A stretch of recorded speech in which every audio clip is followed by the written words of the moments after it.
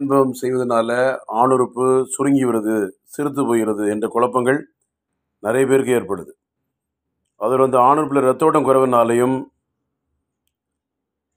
ஆணுறுப்பு வந்து ஃபஸ்ட்டில் நல்லா இருந்திருக்கும். அது பிறகு சுய இன்பம் ஒரு நாளைக்கு ரெண்டு வாட்டி மூணு வாட்டி கைப்பழக்கம் பண்ணி பண்ணி பண்ணி என்ன ஆகுது கடைசியில் தாம்பத்திய உறவு பண்ணும்போது ஐயோ உறுப்பு உள்ளே போகலையே விந்து வந்துடுது சுருங்கியிருக்கு சின்னதாக இருக்குது என்ற கவலை மனதளவில் ஏற்பட்டு ஒரு குழப்பம் ஏற்படுறதுனால திருமணம் முடிந்த பிறகு உடலை போக முடியாமல் சிரமப்பட்டு வர்றாங்க. அதற்கு தீர்வு இருக்குது கவலைப்படாதீங்க.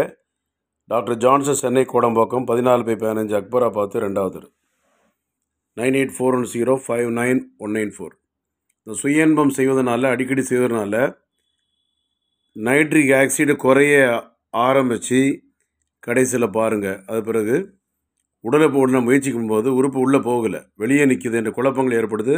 அதற்கு தீர்வு இருக்குது கவலைப்படாங்க டாக்டர் ஜான்சன் சென்னை கோடம்பாக்கம். நன்றி.